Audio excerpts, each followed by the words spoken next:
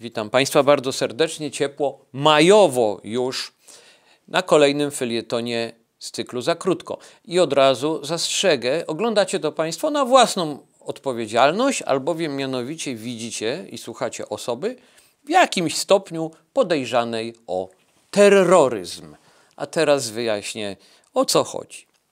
Będę trochę, trochę dzisiaj Państwu czytał, y, jak to nieraz mam w zwyczaju, i komentował to, co czytam, omawiał. Y, I tym razem będą to fragmenty nie z żadnego internetu, tylko korespondencji w zasadzie prywatnej, skierowanej do mnie. Y, ale spokojnie, nie będę czytał tak znowu bardzo wszystkiego, bardzo prywatnego. Otóż, z listu, który otrzymałem, wynika, że trzeba sprawdzić, czy nie jestem terrorystą, albo czy nie piorę brudnych pieniędzy. Hmm. Więc nawiązując do pierwszego zdania, w jakiś sposób o terroryzm jestem podejrzany. I teraz do rzeczy. Powinienem być może od rzeczy wyjść, ale chwilę mi to zajęło. Otóż czas jakiś temu otrzymałem list z banku, dużego banku, pragnę zaznaczyć, nie żaden kogucik, który informuje mnie, że i teraz będzie fragment rzeczonej czytanki. Zgodnie z przepisami prawa mamy, bank w liczbie mnogiej do mnie pisze, wcześniej nigdy nie zwróciłem na to uwagi, władza jest rozproszona, nie jednoosobowa, więc liczba mnoga.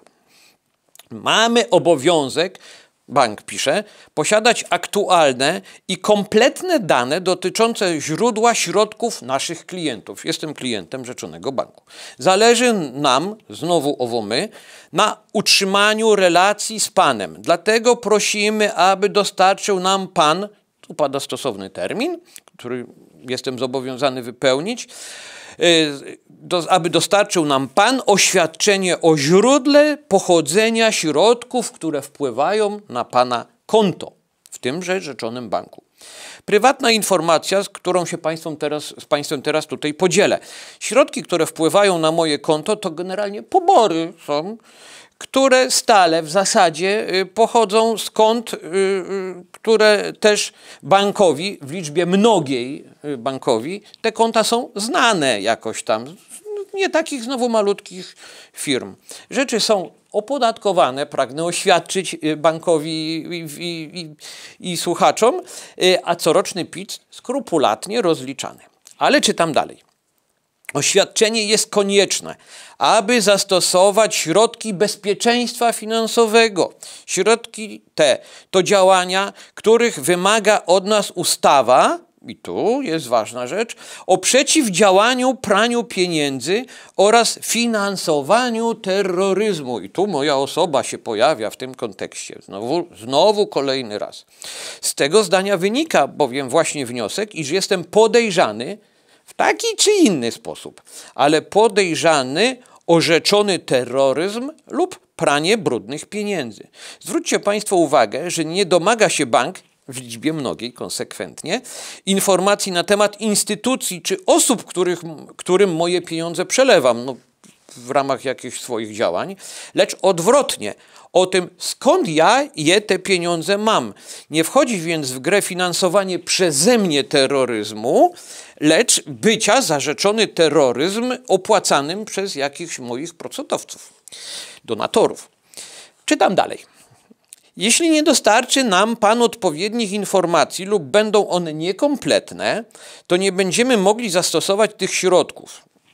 Trochę takie mało czytelne, ale tak jest napisane. I dalej, dalej się zaczyna. Jakich to chyba tych środków nie będzie można. Nie będzie Pan mógł nabywać nowych produktów i usług. Odmówimy Panu realizacji transakcji zleconej w placówkach bankowych. Nie będzie Pan mógł wykonywać transakcji w bankowości internetowej. O, tak. Nie będzie Pan mógł wykonywać transakcji obciążeniowych kartą wydaną do konta oraz kartą przedpłaconą. Kartą przedpłaconą. Dotyczy to też wypłat w bankomacie. Wypowiemy Panu umowy, które nas wiążą. No.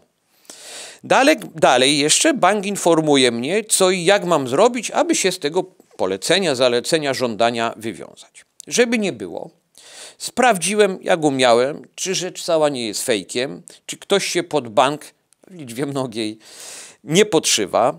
I czy wreszcie mógł mój bank, w liczbie mnogiej, takie żądania mi przekazać? Otóż podobno mógł, a nawet jest do tego zmuszony faktycznie ustawą stosowną. Moje nazwisko zostało najprawdopodobniej, według moich tutaj przyjaciół, do których się zwróciłem z pytaniem, co mam o tym sądzić, zostało najprawdopodobniej wylosowane, jak, jak spośród wielu, ale z czasem podobne żądania otrzymają, prędzej czy później z czasem, otrzymają wszyscy klienci wszystkich banków, a potem pętla będzie się zaciskać. Opisałem rzeczoną moją i nie tylko moją, na forach znalazłem też informację, że jest wiele takich osób, które taką korespondencję otrzymują, y, bo jest ona przykładem zmiany filozofii władzy, szeroko rozumianej władzy.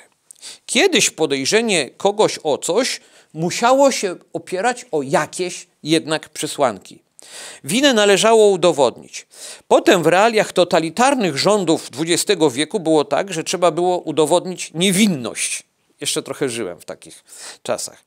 Było to niekiedy bardzo trudne, bo była taka zasada bardzo totalitarnych władz: dajcie mi człowieka, a ja winę mu znajdę. Zresztą ona cały czas gdzieś tam pokutuje. Wydawało się tylko niektórym naiwnym, że czasy takie odeszły, a one nie odeszły. Albo inaczej, odeszły, ale bardzo szybko przyszły z powrotem. Chyba ten temat będę kontynuował tej totalitaryzacji władzy i narzędzi kontroli nade mną.